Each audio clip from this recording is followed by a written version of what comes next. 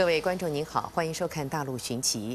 最近几年，云南的古城古镇真是不得安宁，前前后后传出不少的灾情。而回顾大陆寻奇曾经走过的大陆上的古城古镇呢，是好几百座。对云南古镇，我们有特殊的感情，所以它的伤害呢，会觉得不舍跟惋惜，而且加以关注。今天特别针对云南古城古镇做了一番巡礼，一则为了怀念，二则作为警惕。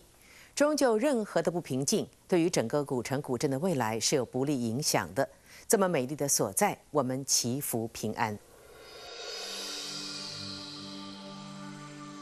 在云南宾川县境内，有一座佛教圣地鸡足山，它是中国十大佛教名山之一。此行适逢秋收农忙季节，黑会江从坝子中间穿过，坝子上的梯田呢，结满金黄色的稻穗。这儿的稻子从栽种到收割都是依靠人力的，所以在秋收季节的时候，山谷中的稻田里头回荡着丰收的幸福声音。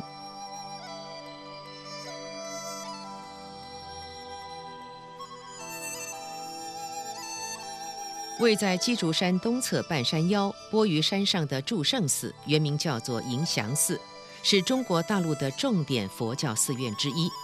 当中建筑群的中心就是大雄宝殿。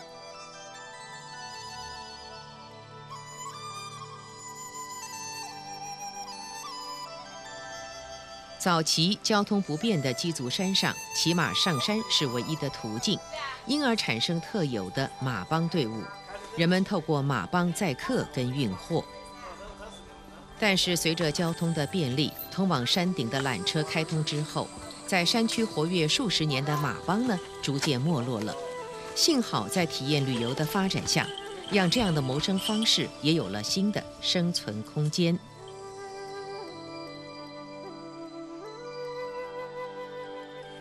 在鸡足山主峰的天柱峰极顶上，有着著名的金顶寺，寺中四十二公尺高的楞严塔屹立在山峰上，塔边有一座闪闪发光的金殿。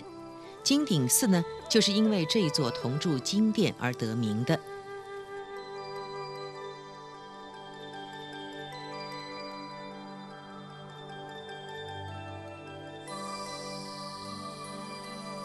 位在楞严塔后方的大雄宝殿中，供奉着释迦牟尼佛。也由于这里有非常好的视野，成为游览鸡足山的重要景点。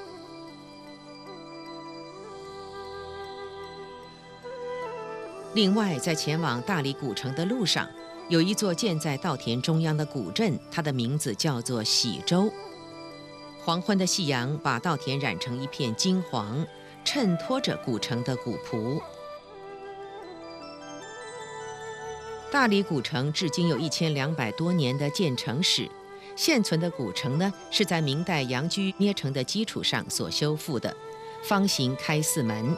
城中呈现棋盘式的布局，南北向纵贯五条大街，东西向呢则穿越八条街巷，其中最著名的莫过于洋人街。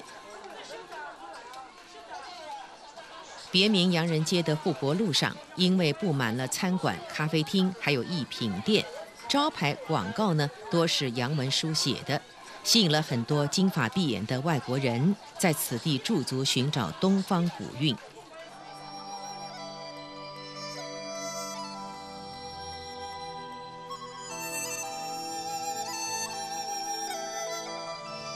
在古城的西北方，有着重点文物崇圣寺三塔，它是在一千多年之前南诏国跟大理国时期所兴建的佛教寺庙，但是历经千年沧桑，原本的崇圣寺呢毁于清咸丰年间，仅存三塔屹立，一直到二零零五年崇圣寺重建竣工，才结束近百年来有塔无寺的处境。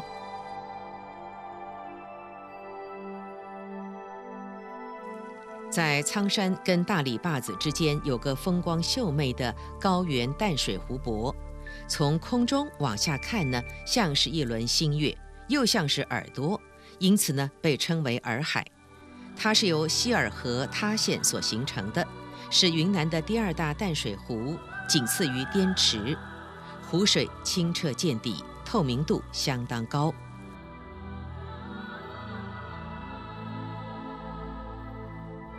小普陀岛位在洱海东部，形状像是浮在水面上的一颗金印。相传是当年观音大士在开辟大理的时候所留下的镇海之印，因为它的岛形跟楼阁与传说当中的南海普陀山相似而得名的。大理一年四季风景如画，在所有风景名胜当中，以风花雪月四景最为引人入胜，分别是下关风、上关花、苍山雪。以及洱海才能见到的洱海月。南诏太和城遗址位在大理古城的南方，里面有著名的南诏德化碑，碑文主要记载南诏政权建立初期的重要史实，成为研究南诏初期阶层结构、职官制度的重要史料。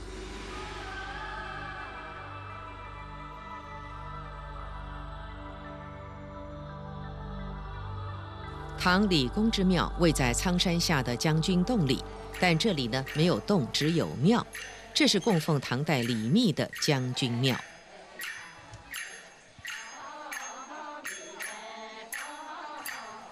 根据史料的记载，西元七百五十四年，唐天宝十三年，唐将先于仲通兵败南诏之后，王朝又派了大将李密率领十万大军进攻。南诏王格罗凤派儿子领兵跟唐军大战于希尔河，唐兵全军覆没，李密也沉江死亡。事后南诏王不计旧仇，跟唐朝重修旧好。到了明代，下关白族奉李密为本主，始建将军洞，每年本主庙会的祭祀活动热闹非凡。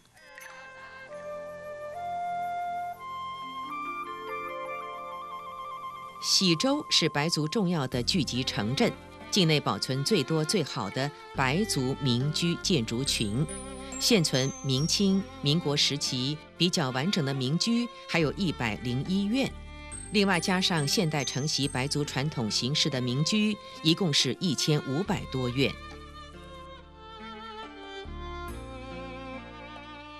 典型的白族民居布局是三方一照壁。跟四合五天井的庭院格局，建筑造型是主房高，耳房低，正面设有照壁。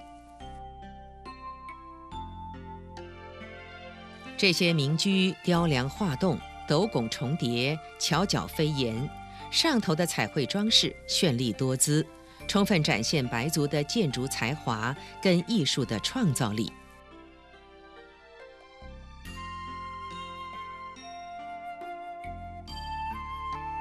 不过，除了在建筑上富有创造力之外，白族人的扎染布也是当地的特色之一。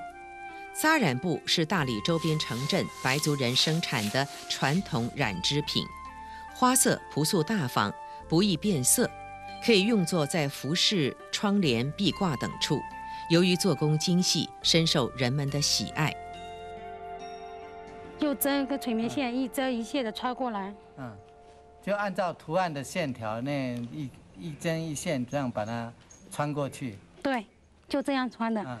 然后穿完以后，用这个线把它绕起来。哦。绕的时候要绕的均匀，线与间隔要均匀，而且要拉得紧，这样扎出来的图案才是白色。那没有扎？没有扎的地方，就是你染了红色就是红色，染了蓝色就是蓝色。哦，是这样是吧？对。这儿的染布原料是使用在地的植物土垫，土垫经过处理做成染液，再将白色的布料经过各式的绑扎进行染色。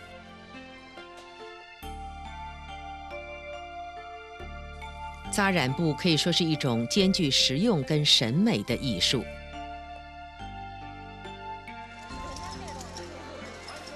云南由于多变的气候、多元的民族，所以有着不少奇怪的风俗，进而衍生出云南十八怪的说法。其中一怪呢，就是牛奶做成扇子卖。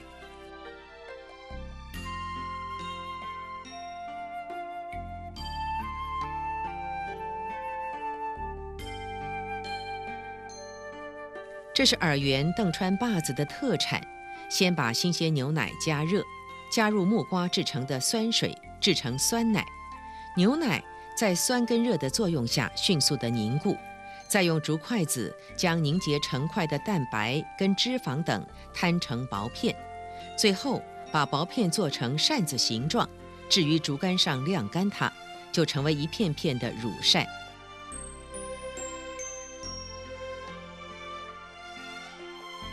乳扇是白族等滇西北民族日常吃的一种奶酪，吃法有生吃、干吃，还能油炸、煎烤。在云南当地的街边上，经常能够看到卖乳扇的摊子。油炸之后的乳扇蘸上蜜糖，可是最道地的吃法了。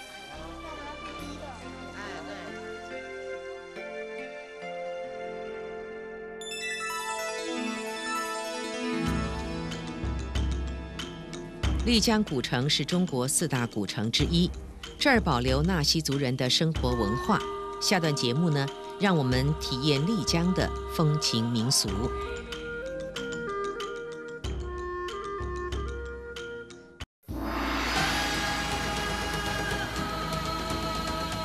中国大陆仅有两座古县城是以整座古城来申报世界文化遗产而获致成功的。一座是山西的平遥古城，一座正是云南的丽江古城，所以这两座古城的观光客就特别多。不过，二零一三年的三月十一日，丽江古城竟然遭到火灾，烧毁民房一百零七间，这对当地文物保存跟观光发展呢，造成非常大的伤害。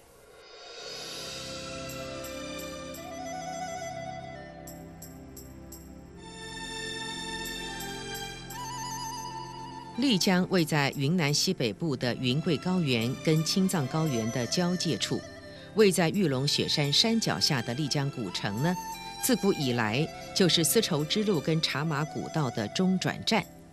这里集结了纳西文化的精髓，完整保留了宋元以来所形成的风貌。建在南宋时期的丽江古城有别以往，是中国历史文化名城当中。唯一没有城墙的古城，这是相当罕见的。在古城中心的广场上，一群纳西族人正在跳着舞蹈。纳西族原本是中国西北古羌人的一个支系，历经迁徙来到丽江地区定居了。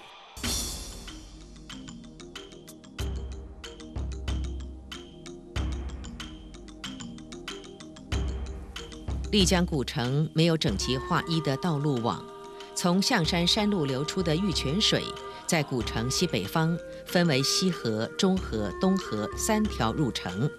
在这样的自然条件下，古城街道不受约束，自由的布局，主街傍河，小巷临渠，道路随着水渠延伸，民居就依照地势高低而兴建。小桥流水店家是现今丽江古城最贴切的写照。在这座四平方公里的古城里头，双脚是唯一的交通工具。一间间林立的咖啡店呢，让走累的人能够停下来喝上一口咖啡，静静欣赏古城之美。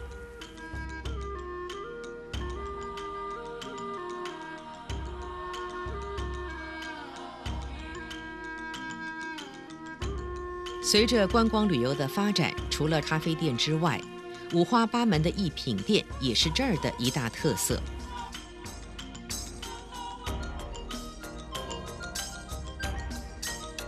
古称火针刺绣的烙画，利用绘画艺术跟活笔的运用技巧，吸引着游人的目光。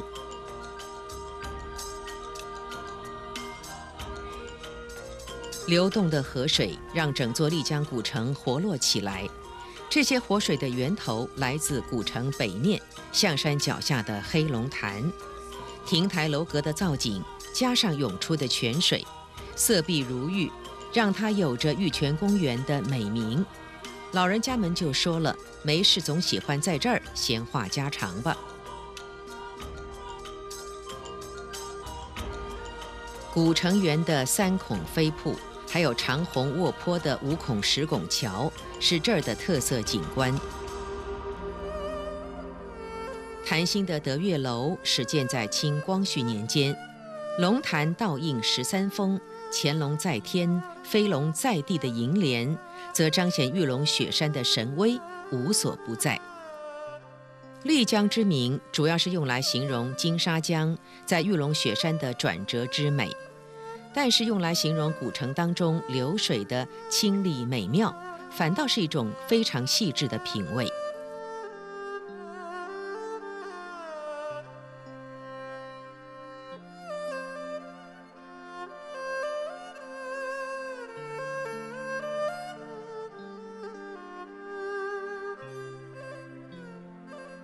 河水入城之后，又分成众多支流。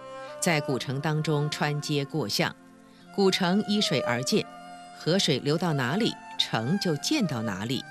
流水跟古民居相应成趣，在这不受限制的城市水系上，总共有三百五十四座桥横跨其中，廊桥、木板桥、石板桥点缀着丽江古城。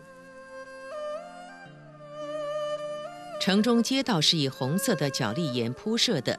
雨季呢不泥泞，旱季不飞灰，使古城清净而且充满生机。这个一唱啊，它是蒙古语的意思呢，就是。呃，蒙古军驻扎的地方，就是在一二五三年的时候呢，忽必烈呢南征大理国的时候，他带着蒙古军呢经过丽江这一片呢，就是原来他的居住，呃，他的那个部队的一个驻扎地。那这个意思就是蒙古军驻扎的地方。那这口井呢，到现在呢是已经有八百多年的历史了，是丽江古城里边的最古老的一口井。现在呢水源还非常好，这边的老百姓呢每天还在饮用这里边的水。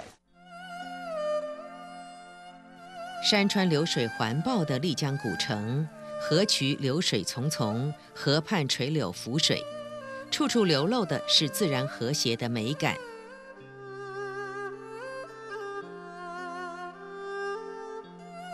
古城建筑历经无数朝代的洗礼，虽然饱经沧桑，仍然真实完美的保存着，呈现出古朴的风貌，还融汇了各个民族的文化特色。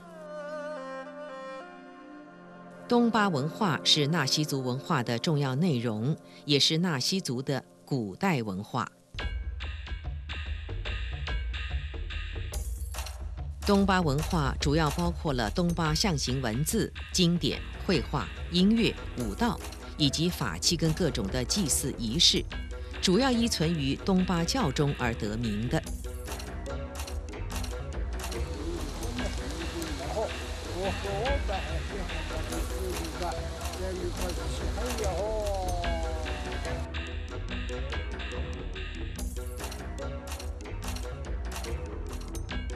东巴文属于原始的象形文字，创始在唐代，距今有一千多年历史，主要是东巴教徒传授使用，书写东巴经文的。这一捆捆的东巴经书是由当地构树皮所制成的厚棉纸装订而来的，性质呢属于民族古文献，除了记载迎神、驱鬼、祈福、求寿、消灾解难等内容，还保留许多古语古词，并记录大量的纳西族古典文学作品。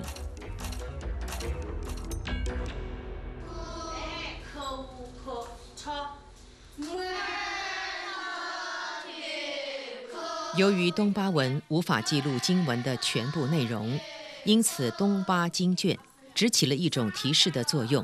经文的含义跟解说呢，是依靠口授的，只有从小就学习他的东巴祭司，才能眼看经文，口诵句子。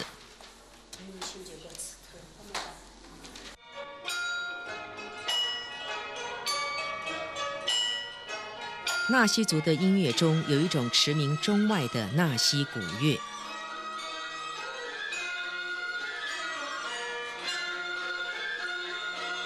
纳西古乐最具欣赏性的地方是它有着西式三宝：第一是古老的曲子，其次是古老的乐器。乐师们手上所持的乐器都有上百年的历史，再来就是演出的老艺人。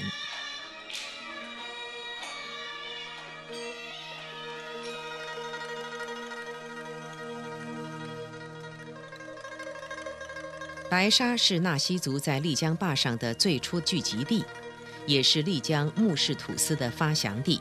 镇内现存的明代建筑大宝鸡宫里头，还保存着明清时期珍贵的白沙壁画。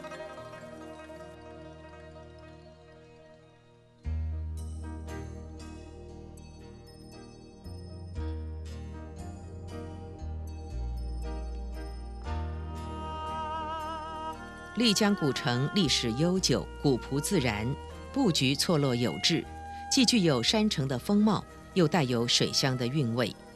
但在古老的供水系统当中，还有一套规则：古城的供水呢是由三个水塘组成的，称为三眼井。头塘水用来喝，二塘水用来洗菜，三塘水呢可以洗衣服。这样的设计让水得到充分的利用。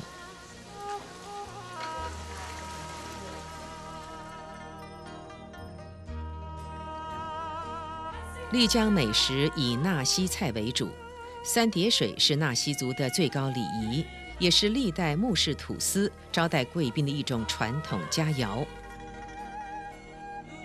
三叠水依照口味分成三次上席，第一碟以甜点为主，第二碟是凉菜，最后才是熟食，但主要以蒸菜为主。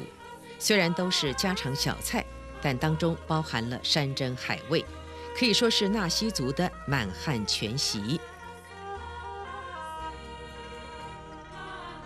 最后上的这道白肉火锅也是纳西佳肴，铜制锅具工艺精美，是纳西族人喜欢的器皿。从这些丰盛的佳肴当中，能够感受到纳西族的待客热情。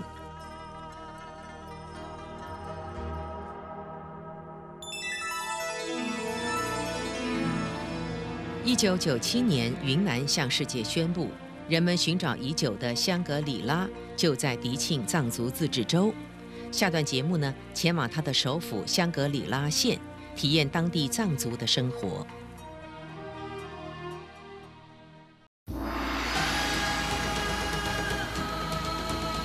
零一四年一月十一日凌晨的一点二十七分，位在云南迪庆藏族自治州的香格里拉县的独克宗古城也发生大火，古城三分之一面积被烧毁了，而且都属于极度的繁华地带，不少唐卡等佛教文物也遭到诛容。而现在，一起来了解一下独克宗这座古城的风采。美国作家希尔顿在一九三三年所出版的《消失的地平线》这本书中，描述一块永恒宁静的土地，雪峰峡谷，森林环绕，牛羊成群，从而诞生香格里拉这个名词。在以前中甸的藏语里头，香格里拉是心中的日月之意，代表藏民所向往的理想境界。独克宗古城位在现今香格里拉县的东南方，它藏语中有两个含义，一个是建在石头上的城堡，另外一个则是月光城，这正呼应着香格里拉。这里是中国大陆保存最好、最大的藏民居聚落，我们来到蜀都冈的藏民家做客，受到女主人的热情款待。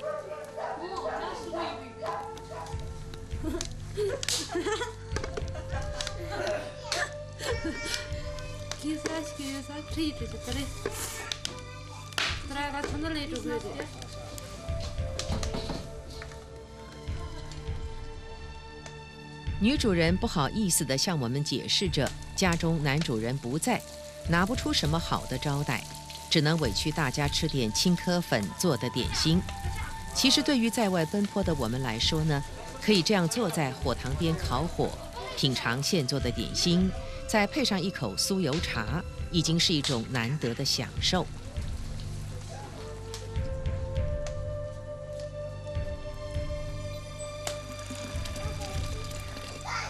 在藏族的聚落里，酥油茶是每户人家必备的饮料。女主人挖起酥油，放入特制的桶中，熟练地反复搅拌。对于这样的动作，外景队是再熟悉不过。不过每个地区的人家打出来的酥油茶呢，口感竟然都有些不一样。这儿使用的奶酪结实的像石头一般，使用这种奶酪打出来的酥油茶，喝起来真别具风味。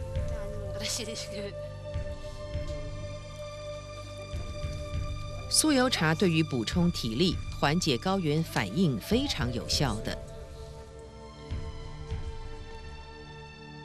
喝完酥油茶，还意犹未尽地捏起了糌粑。糌粑是藏族的传统主食之一。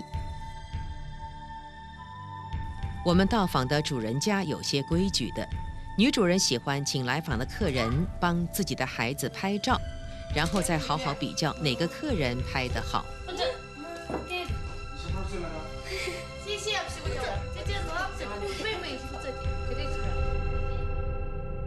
暂别主人家的热情，我们来到有着“高原明珠”之称的碧塔海。碧塔海是云南省海拔最高的湖泊。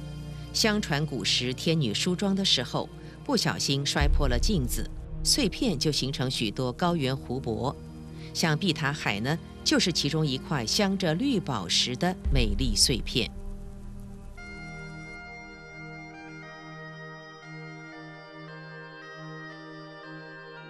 但是也有传说，这里是《格萨尔王传》当中所提到的毒湖。清末以来的文献有所记载，湖里有珠宝，但在龙王的护持下呢，没有人拿得到。另外也有记载说，湖底有一艘沉船，能看到沉船的人将会有好运的。我们当然没能看到沉船，但是呢，却享受了一顿被款待的好运。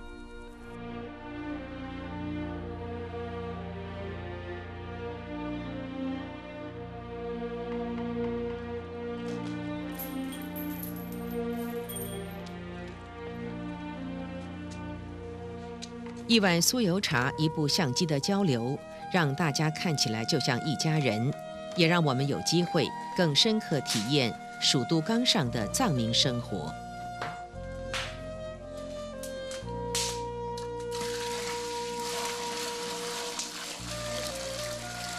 这儿的生活真是充满原始，每天呢得走上一段路到蜀都湖去挑水。自从有公路通到蜀都冈之后，藏族男人就开始往外去找寻工作机会。外界呢，也因为旅游的发展，进到藏族人的家中。原本与世隔绝的国度，与世无争的生活起了变化。习惯安定的藏族女性，多半会选择以不变应万变。在这辽阔的沼泽草甸上生活。当地人不止利用丰美的草地来放牛、放羊、放马，甚至呢还能放猪呢。这样的生活还真是惬意。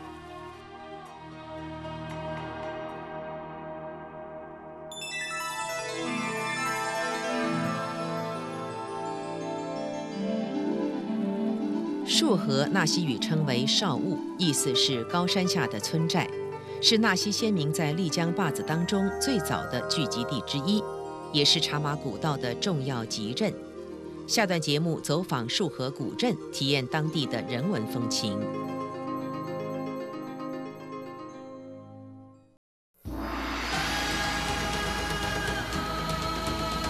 再来说到束河古镇，它是纳西先民在丽江坝子上最早的聚集地之一，也是茶马古道上保存完好的重要集镇。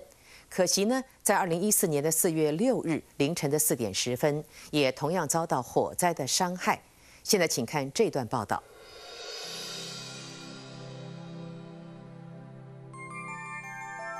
旧名石河的束河古镇是世界文化遗产丽江古城的重要组成部分，也可以说是丽江古城发展模式的再延伸。古镇依山傍水，民居房舍错落有致。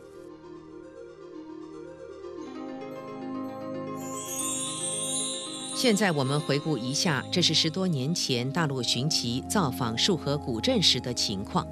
当时这儿的纳西族人几乎都是务农，或是以手工业为生的。束河古镇曾经是丽江的皮毛交易集散地，在赶集的日子里头，这里十分热闹的。由于茶马古道的发展，产生了各种商品的需求。明代的时候，穆氏土司延聘一批江南工匠定居在束河，从此束河变成滇川藏交界地区非常有名的皮匠村。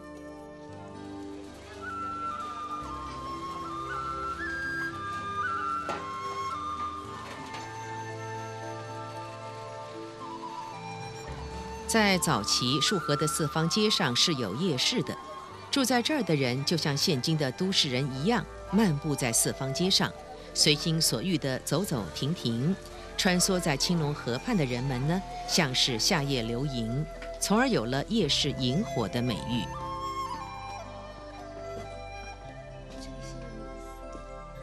青龙河的流水是由雪山上的积雪融化而来的，非常清凉。因此，沿河而行，经常能够看到有人把水果或饮料放在河里冰镇。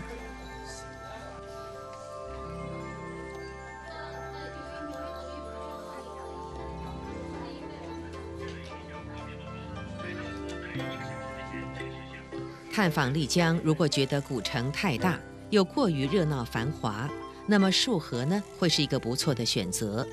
这儿的巷弄街道。虽然像是蜘蛛网般的紧密交织着，但毕竟开发的比较晚。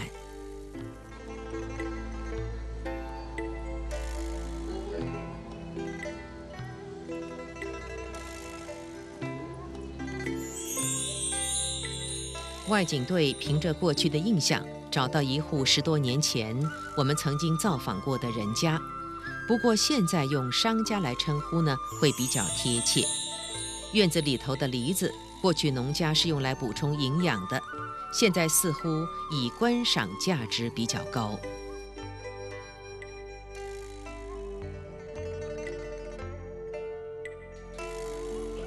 从前用来晒青稞的架子，现在改成供游客喝酒、喝咖啡的雅座。这一切的安排呢，都是为了让游客感到赏心悦目，愿意登门光顾。从雅座往外看，过去的水道明显的变小许多，把空间腾给游客散步之用。当地纳西人也乐在其中。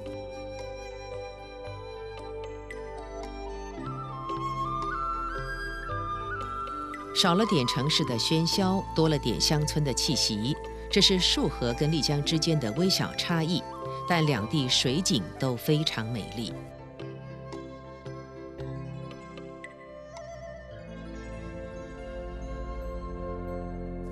在束河呢，还有一项特色，一般游客是不太容易发现的，也就是束河，它是以发达的教育著称的。早在清代乾隆年间，束河就设有朝廷公助的义学馆，另外还有三所私塾，让束河成为著名的人才之乡。现今游客从每家民宿的经营风格去感受，应该就能发觉之间的微妙差异。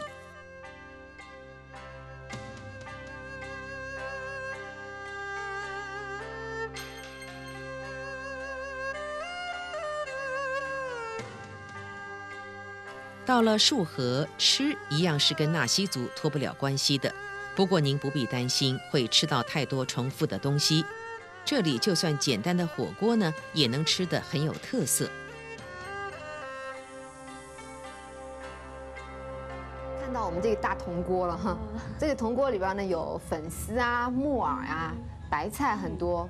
那下面呢还有，因为它的汤呢是用鸡汤炖的哈，也有猪。呃，猪排骨汤啊，还有腊排骨很多。那今天我们呢是拿土鸡汤来炖的，呃，那放上粉丝啊、木耳啊那些，呃，菜进去呢，味道更加鲜美。火锅并不是纳西族的传统饮食，但却是非常大众化的吃法。当然，传统的纳西菜色还是不能少的。各位瞧，这就是经典的纳西菜。品尝一下这个这个红肉啊，看上去很肥，但是这个呢是肥而不腻的。我们的土鸡炖我们的鸡油菌哈，这应该是最补的一道菜。哎，最滋补的一道菜了，这个。炖鸡汤、鸡豆凉粉、油炸凉粉等，一道道束河古镇的在地美食，色香味俱全，这是当地人家餐桌上的佳肴。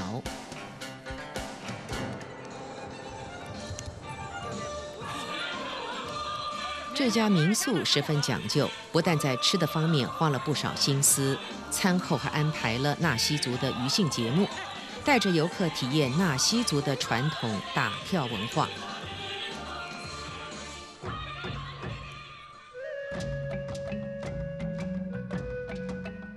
在丽江古城北面十多公里的地方，玉龙雪山的山脚下，有一个雪松自然村，他是美籍奥地利人约瑟夫·洛克曾经居住过的地方。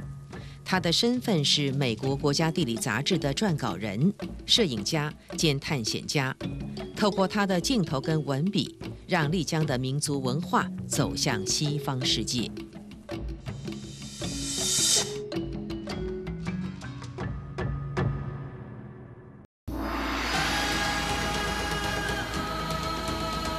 节目最后呢，我们放松下心情，重新感受云南的各地之美，也祈求这些美丽的人文跟自然风采可以永远受到尊重跟爱护。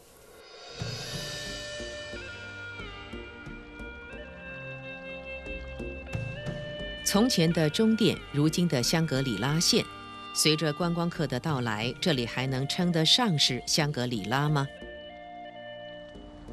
当地藏民心目当中的香格里拉，里面有一座高高的雪山，名字叫做卡瓦格博，它是梅里雪山的主峰，名列藏区八大神山之首。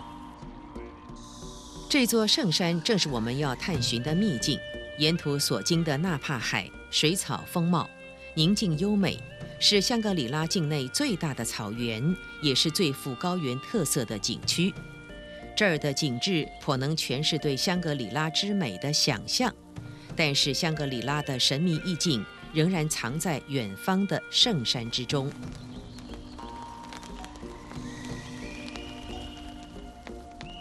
高原上变幻莫测的气候，让朝圣者一致认为，卡瓦格博峰可是难得一见的。这趟云南行程，我们可以说是非常幸运。带回卡瓦格博峰日出的壮阔景观。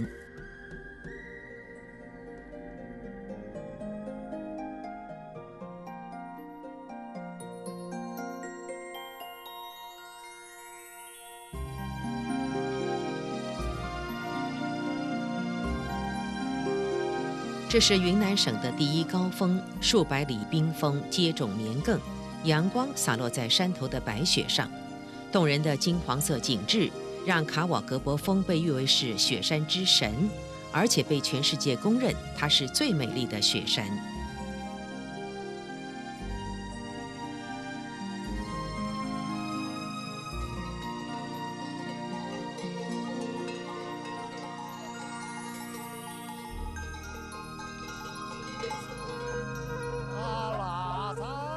德清县位在西藏四川交界之处。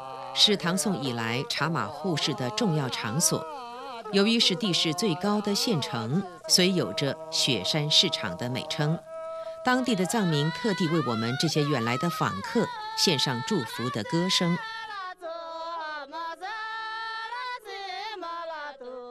弦子是藏族特有的一种胡琴，一般是由男子来演奏着。接着，我们继续要往雨崩前行。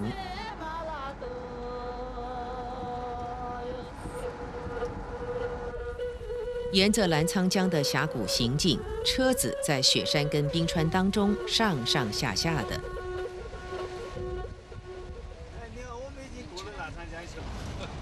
澜沧江它是湄公河的上游，是中国西南地区的大河之一。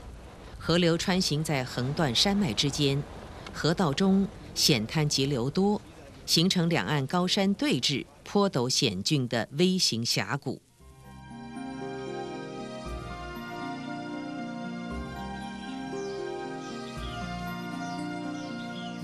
经过一路的颠簸，我们来到的地方叫西当。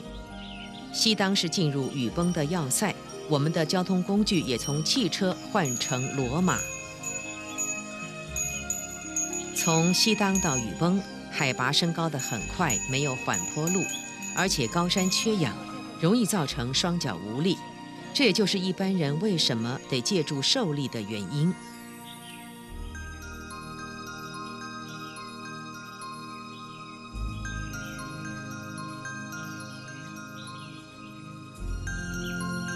在杉树林间挂着无数的彩色经幡，像是彩棚一般点缀着空灵的山野。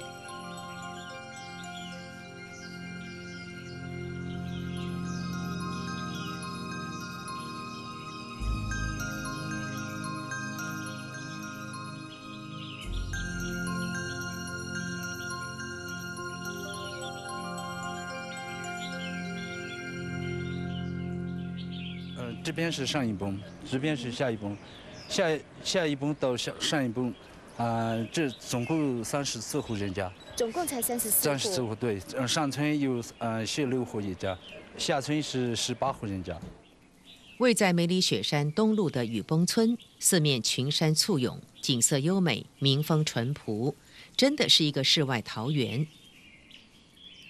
非常大的一个客栈呢，也可以，很热闹哎，为什么有这么多人呢？嗯，有些是，就有些可以转机啊，还有有些游客啊，那些都都来这。穿过崇山峻岭，来到了雨崩，迎接我们的是这儿唯一的旅店神铺客栈。这间客栈起初呢，并没有名字的，后来大家不约而同地称之为神铺兄弟客栈。因为这是阿青部、农部两兄弟在自家土长楼一侧所开的客栈。阿青部是哥哥，他为大家亲自下厨，使用这儿的特产松茸，料理了一顿丰盛的晚餐。松茸是新鲜现采的，鸡是自己养的，加上阿青部一手包办，这绝对是道道地地的雨崩风味。这桌山珍美味抚慰了大伙一天的劳累。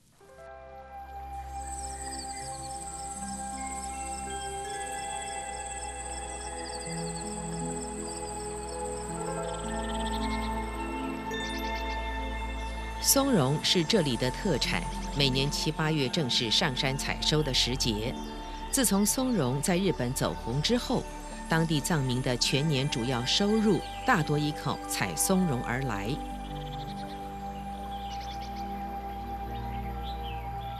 雨崩境内有一个圣地叫神瀑，在前往神瀑的路上，我们看到一座座的小石堆，这是前往朝圣的人为自己、为亲人。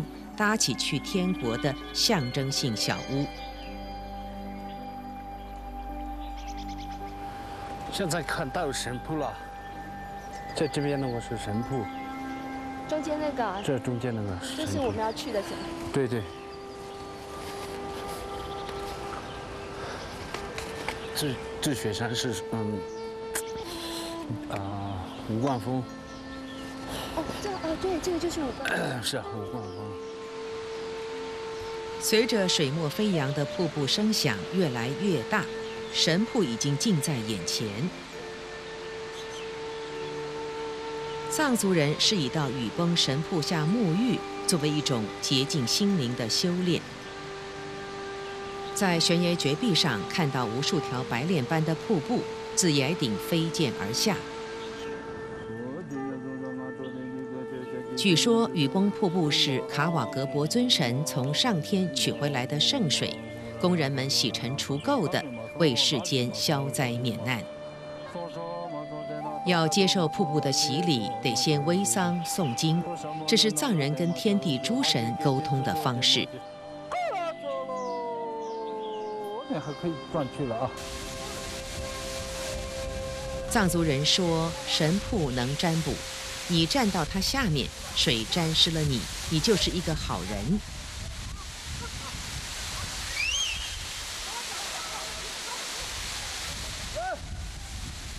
据说曾经有人结伴来到神铺，其中一个人在转神铺的时候，水竟然停在半空不下来了。回去之后呢，不久那个人竟患病而死。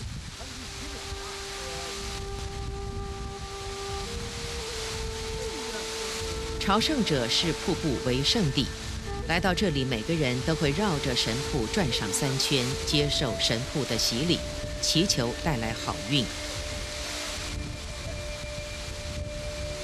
藏人对大自然的尊敬是用行脚朝圣来表达的，他们以谦卑的角度表达人们对他的敬意。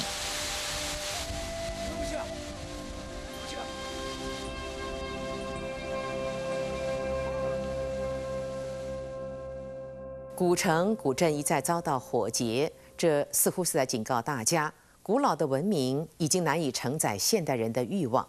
我们特别整理这段节目呢，可以让更多人去思考跟寻找，寻找什么呢？寻找过去跟现代之间的一种平衡。节目谢谢观赏，我们下周再会，祝福各位。